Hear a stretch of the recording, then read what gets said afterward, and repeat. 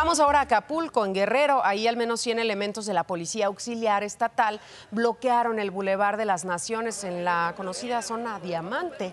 Exigieron que las autoridades ah, correspondientes apliquen prestaciones laborales que les retiraron, como la entrega de uniformes, están pidiendo también un seguro de vida, bonos. El bloqueo afectó a turistas, usuarios del Aeropuerto Internacional de Acapulco y también a los habitantes de la zona que, se deben, que deben transitar pues, por esta zona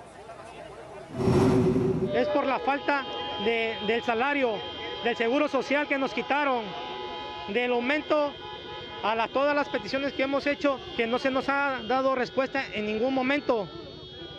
El seguro de vida que nos los quitaron y, si lo queremos adquirir nos lo están cobrando. A los compañeros que están de gravedad por alguna enfermedad o que tuvieron anomalías, que tuvieron alguna, algún incidente en su trabajo, les quitaron los derechos.